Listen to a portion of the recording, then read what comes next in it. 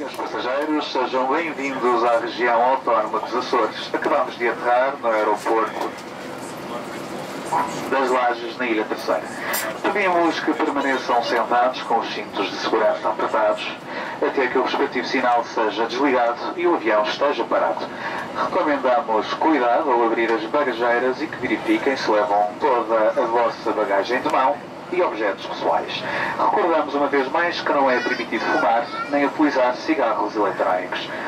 O comandante Duarte Miquelino e a sua tripulação despedem-se e esperam voltar a recebê-los a bordo da Azores Airlines. Bom dia e obrigado.